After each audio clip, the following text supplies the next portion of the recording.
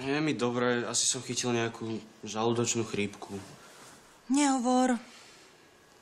No, môj žalúdok... úplne- No, dobre, nebudem zachádzať do detailov, ale povedzme, že som čas noci strávil na záchode.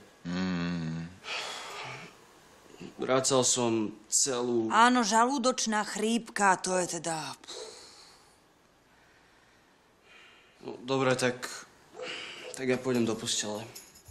To je dobrý nápas s tou tvojou žalúdočnou chrípkou. Tá žalúdočná chrípka, to je fakt hrozná vec? Áno. Najmä slávna žalúdočná chrípka po 12 pivách.